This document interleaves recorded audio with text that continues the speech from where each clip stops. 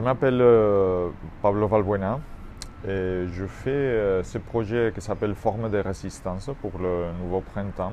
Et c'est un projet qui est une réponse à les monuments à la gloire de la résistance, qui est un monument pas très habituel à Toulouse et qui euh, déjà utilise l'espace, la lumière, les sons, la projection pour, pour faire une œuvre d'art totale. Mon, idée, clairement, c'est que c'est l'expérience de cette poésie pas lue, mais euh, expérimentée dans l'espace. Donc, euh, quand tu lis de la poésie tranquillement dans ta maison, c'est très différent de quand tu fais les liens avec cette poésie, avec le lieu.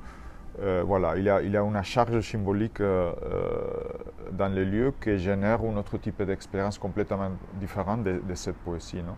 Les parcours de les corps dans l'espace, dans l'obscurité, dans le silence, des moments assez un peu euh, déstabilisants, où, où tu te trouves un peu perdu. Ça, c'est des éléments que j'utilise pour, euh, en fait, euh, donner plus de force à, à- à ce texte.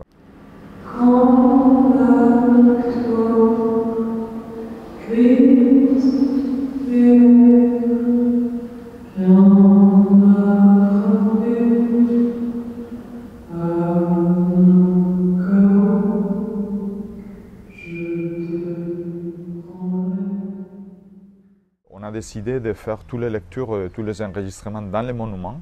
Donc euh, tout ça, ça a été fait ici. Et, ça, a été, ça a été aussi intéressant de, faire le choix d'essayer de trouver des gens qui, qui ont avait quelques liens avec les types de poésie que, qu'ils ont lus. C'est aussi des investissements émotionnels dans le sens de que travailler sur ce type de texte pendant une, une longue durée, c'est assez euh, bah, psychologiquement c'est, fort, parce que c'est toujours des textes qui parlent des événements euh, euh, durs.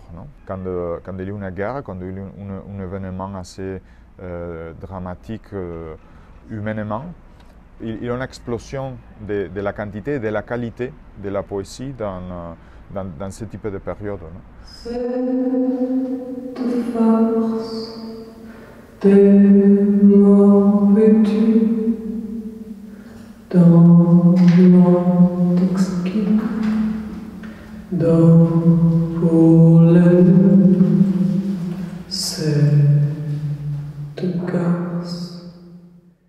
C'est un projet qui c'est très léger. Euh, les, éléments matériels qu'on ajoute à l'architecture, en fait, c'est c'est très peu.